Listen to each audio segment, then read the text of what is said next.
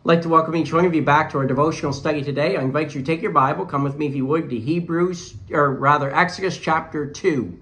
Exodus chapter 2, I've just been reading in Hebrews in, in uh, study and preparation for this devotional today. And we will be going to Hebrews eventually, but we're going to Exodus chapter 2 right now as we've been looking at the early years of Moses. We've been looking as God prepares a deliverer um, for the nation of Israel. God is preparing us for what he has prepared for us. And it's important that uh, we, like Moses, learn that we don't run we don't run ahead of God, nor do we lag behind Him, but that we move in God's timing. So let's look more at the early years of the life of Moses today, as we study in Exodus chapter two. In verse one, it says, "And there went a man of the house, house of Levi, and took to wife a daughter of Levi." And the woman conceived and bare a son, and when she saw him that he was a goodly child, she hid him three months. And when she could not longer hide him, she took for him an ark of bulrushes, and daubed it with slime and with pitch, and put the child therein, and she laid it in the flags by the river's brink. And his sister stood afar off to wit what would be done to him. So as we come into these verses yesterday, we saw uh, Amram being the father of uh, Moses and Jochebed, the mother of Moses, were of the tribe of Levi, and we saw some of the significance of that yesterday. Now, as we move into verse 2, we are going to be looking in somewhat um, at the courage that Jochebed had. And uh, before we do that, notice what it says here about Moses in verse 2. It says, And the woman conceived and bare a son, and when she saw that he was a goodly child. Uh, in order to define, in order for us to help to understand this idea of a goodly child, let's go to Acts chapter 7. Acts chapter 7, as we think about Moses being a goodly child. In Acts chapter 7, verse 20, and really you could read all the way down to verse 37 here, or 38. It says in Acts 7, verse 20, in which time Moses was born and was exceeding fair and nourished up in his father's house three months. So we see there the early months of the life of Moses. We see that the Bible says he was a goodly child. And then later on we see in verse 22, and this is, we're going to see this in verse, uh, in Exodus 4, that Moses was learned in all the wisdom of the Egyptians and was mighty in words and in deeds. And uh, in, in Exodus 2 later on, we're going to see when he was a full 40 years old, it came onto his heart to visit the brethren, the children of Israel. So God is preparing Moses for what he is preparing for him.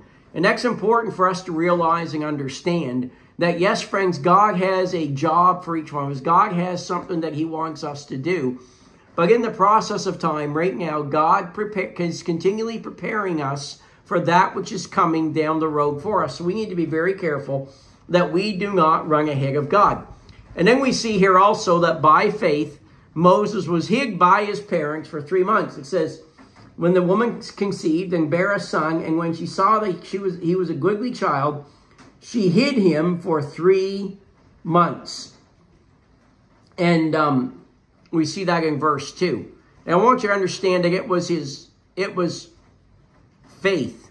It was not the beauty of a child, nor was it a mother's love for her child that caused him to hide Moses. It was faith in God uh, and God's plan for him that enabled them to do this. Say, so how do you know that? Well, keep your finger in Exodus 2 and come with me, if you would, to Hebrews chapter 11. This is where Hebrews comes in.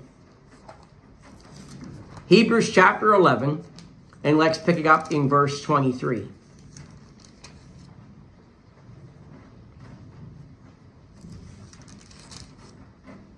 Says there, by faith, Hebrews 11 23, by faith, Moses, when he was born, was hid three months of his parents. So, what is it that caused his parents to hide him three months? Faith. Because they saw that he was a proper child. That's the idea of the goodly child, and that they were not afraid of the king's commandment. So, there's another key there also. They were not afraid of the king's command. They understood that the command that the king had put out defy, defied the laws that God had already set, defied the nature of God. And friends, when government puts out commands that are contrary to God, then we must be involved in obeying God. Then it says in verse 24, by faith Moses, when he was come to years, refused to be called the son of Pharaoh's daughter, choosing rather to suffer affliction with the people of God than to enjoy the pleasures of sin for a season, esteeming the reproach of Christ greater riches than the wiz treasures of Egypt, for he had respect unto the recompense of the reward. By faith he forsook Egypt, not fearing the wrath of the king. Once again, here we see this whole idea that he ought to obey God rather than men. For he endured as seeing him who is invisible. Through faith, he kept the Passover and the Spirit, uh, sprinkling of blood, lest he that destroyed the firstborn should touch them.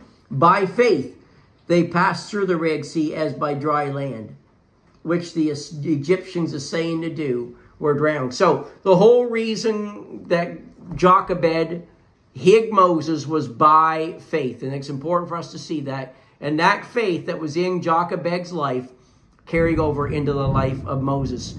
Uh, we mentioned that it was a law that was contrary to the law of God.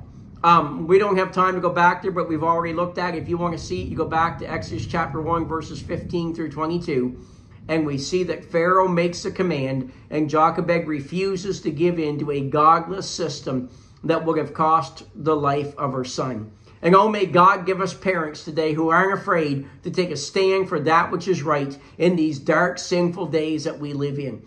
Men and women who demand more for their children than the world can give them. Parents who are willing to say that enough is enough. My child is going to learn the way of the Lord.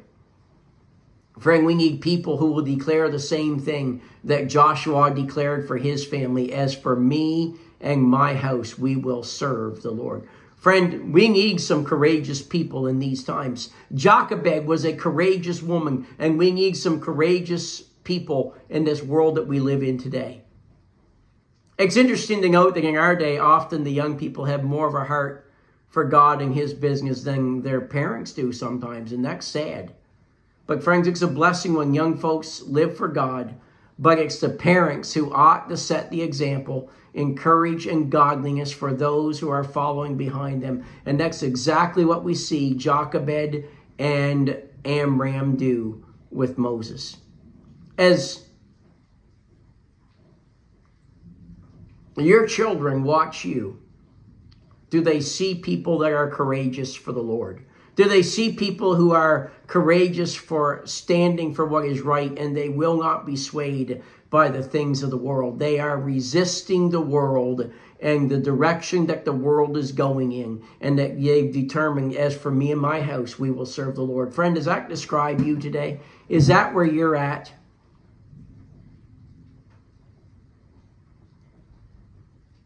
What I'm really asking is this do your children see Christ in you? Do your grandchildren see Christ in you? Do the people that are nearest to you see Christ in you and the difference that he makes in your life? Friends, the only way that that really happens is by faith.